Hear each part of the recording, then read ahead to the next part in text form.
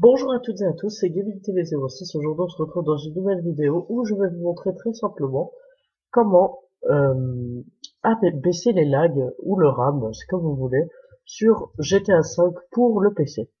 Parce que j'ai vu que donc GTA 5, il faut savoir qu'il a été extrêmement bien optimisé, je trouve.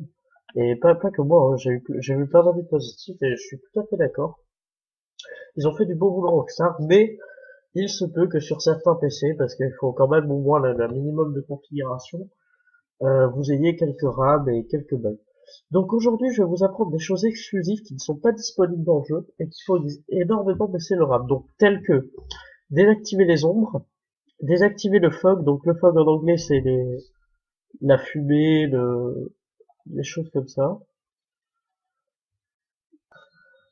C'est moi petit bug. Donc désactiver le fog, donc qui est le, qui sont les la fumée, les, les, choses comme ça qui prennent exact qu'on ne croit pas, mais ils, prennent vraiment beaucoup euh, de mémoire euh, de carte graphique. Donc voilà, ça va vraiment énormément vous faire baisser le lag. Et donc euh, c'est parti. Donc pour commencer, vous irez dans vos documents, dans Rockstar Game, le fichier Rockstar Game, là, GTA 5, et vous exécuterez ce petit setting XML. Donc on double-clique pas dessus parce que si vous double-cliquez dessus, ça vous ouvrira une page web totalement incompréhensible. Vous ferez un petit clic droit, excusez-moi, et vous ferez modifier, simplement. Ou si vous n'avez pas modifié, vous faites ouvrir avec euh, bloc-notes, tout simplement. Voilà, ça parce que je l'avais déjà ouvert où je vous avais montré spécifiquement les modifications. Alors, les modifications, donc la première, ça va être celle-ci. Vous allez chercher ceci. Shadow qualité value 1. Ça, ça va être le plus important. Ça va être pour désactiver totalement ombres. Donc vous aurez le petit chiffre 1. Vous allez faire supprimer. Et vous allez mettre un 0 à la place. Ça désactivera totalement les ombres. Donc vous allez descendre un peu jusqu'à ce que vous trouvez, alors attendez, que je retrouve, voilà, ceci. Donc shadow, particule, shadow, donc ça c'est les particules, donc ça voilà, c'est encore un truc que j'ai oublié euh, à la présentation de la vidéo. Donc ça désactive, euh, par exemple, je sais pas, quand vous roulez, vous avez des petits euh, morceaux de béton qui se passent un peu partout, ça, désactive tous les petits détails, quand vous marchez, je sais pas, dans la neige, il y, a des, il y a des traces de pas dans la neige, ça désactive toutes les petites choses comme ça, vraiment des petits détails qui prennent vraiment, qui bouffent de la mémoire, mais vous vous rendez pas compte, et c'est très discret. Donc, on va mettre, pareil, euh, excusez-moi, false, voilà, mettez shadow particule false.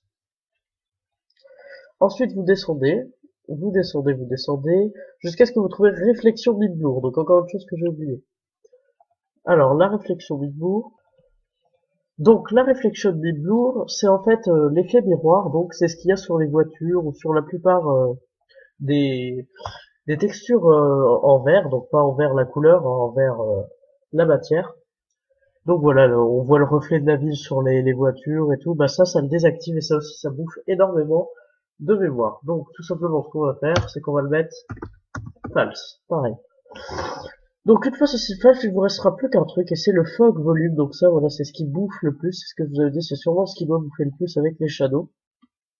C'est euh, tout ce qui est le la fumée, les ouais, c'est surtout la fumée en grosse partie et tout qui se dégage de, plusieurs endroits. Et il y en a souvent dans le jeu.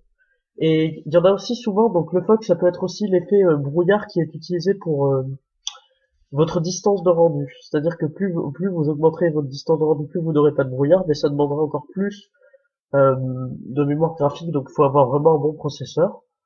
Alors que là, ça remplace avec le fog. Mais le fog, le problème, c'est que ça demande aussi du processeur. Donc ça, ça le désactive et vous aurez bien plus euh, de, de FPS. Vous verrez ça aussi.